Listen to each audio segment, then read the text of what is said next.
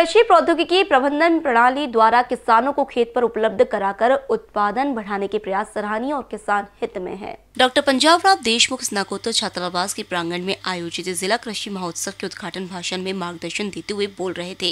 प्राचार्य पहुने महापसे विश्वविद्यालय निदेशक ए यू भिका ने जबकि अध्यक्षता संयुक्त कृषि निदेशक राजेंद्र साबले ने की है।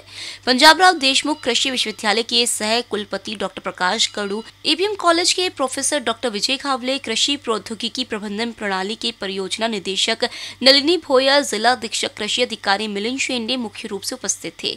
किसानों को एकीकृत कृषि परियोजना का दौरा करना चाहिए और प्रौद्योगिकी के बारे में सीखना चाहिए। इसका उपयोग कृषि उत्पादन के लिए किया जाना चाहिए। कैमरा पर्सन राजकुमार मोहर के साथ अभिषेक पानसी बीसीएन न्यूज़ नागपुर।